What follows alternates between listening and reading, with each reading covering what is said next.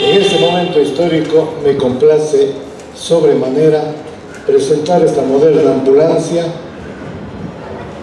nada como Alma 13, es una Citroën, la misma que viene equipada técnicamente. En días posteriores continuaremos incrementando equipos médicos con todos los adelantos tecnológicos para una atención especializada y capaz de calificar como ambulancia tipo 2 por el Ministerio de Salud Pública. Pero esto no es todo. Nuestra ambulancia, además de tener bomberos y maquinistas profesionales, Hoy contamos con dos paramédicos titulados. En nuestra ambulancia estará totalmente equipada y lista para dar eh, soporte vital a la ciudadanía. Eh, dentro del presupuesto de la asignación general del Estado, pues se ha canalizado un porcentaje para poder contratar, a este caso, a los paramédicos. No hay labor más noble que la de alguien que esté presto a arriesgar su vida, a entregar su vida por los demás.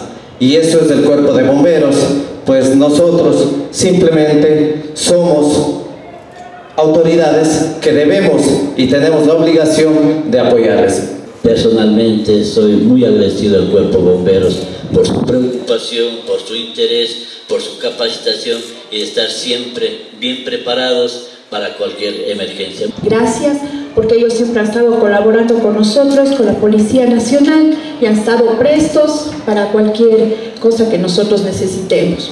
Extender mis más sinceras felicitaciones al cuerpo de bomberos, a su personal que arduamente labora por mantener y precautelar la seguridad de cada uno de los gironenses. Yo creo que el día de hoy es un día especial en donde que podemos observar que nuestro cuerpo de bomberos se sigue implementando, se sigue profesionalizando. No, nunca sabemos lo que nos va a pasar y creo que esto es nace una, una gran ayuda para todos nosotros. Quiera Dios que nunca nos pase nada, pero nunca sabemos.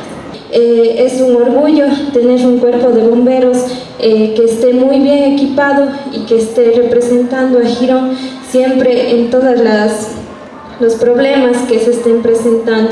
Y esta ambulancia justamente es el reconocimiento a esa entrega, a esa donación, porque el bombero desinteresadamente es quien entrega su tiempo, sus cualidades, los dones que ha recibido de Dios, su vida y su corazón al servicio de los demás.